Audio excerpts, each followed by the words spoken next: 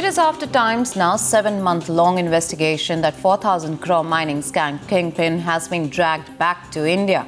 Your channel first tracked Anil Bastawade in June 2012 in Indonesia, where the mining kingpin was leading a luxurious lifestyle away from the eyes of the law.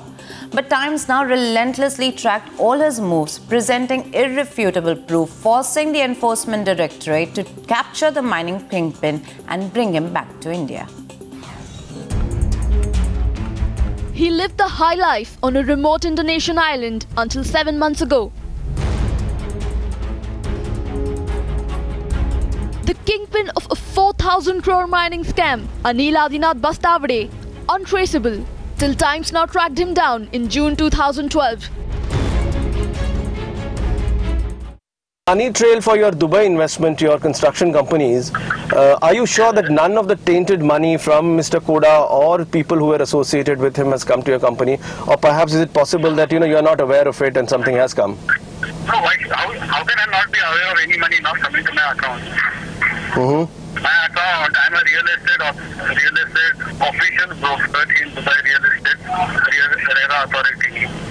Okay. All my money which has come has been documented in the escrow account maintained by Dubai. But from there, relentless reporting and continuous follow ups by your channel ensured that the authorities finally caught up with the mining scam kingpin.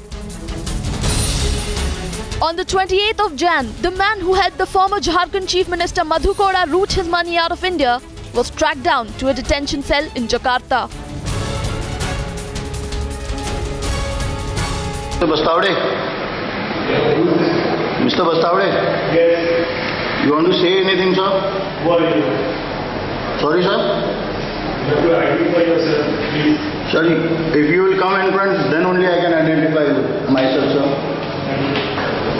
Sir?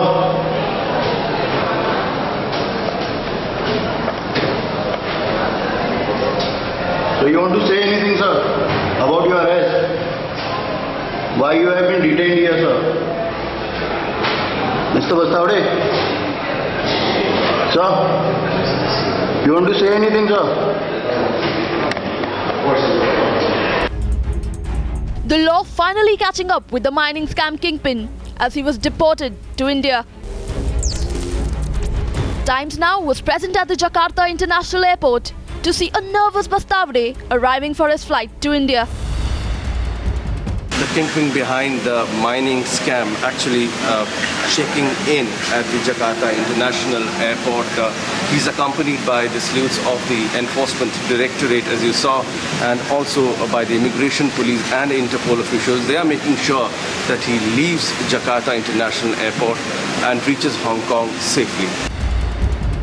We continued following the scamster even as he reached Hong Kong, escorted by ED officials. And then boarded a flight for India while trying his best to avoid our cameras and evade our questions. He's on the next flight out to Delhi, and once he lands in Delhi late in the evening today, he will be taken to Ranchi tomorrow probably. There, the Enforcement Spe- Directorate Special Court has an arrest warrant pending against him. On board the flight, on the ground as he landed, What do you have to say? You're following him, asking direct questions as he was finally arrested on arrival. Thanks to our investigations.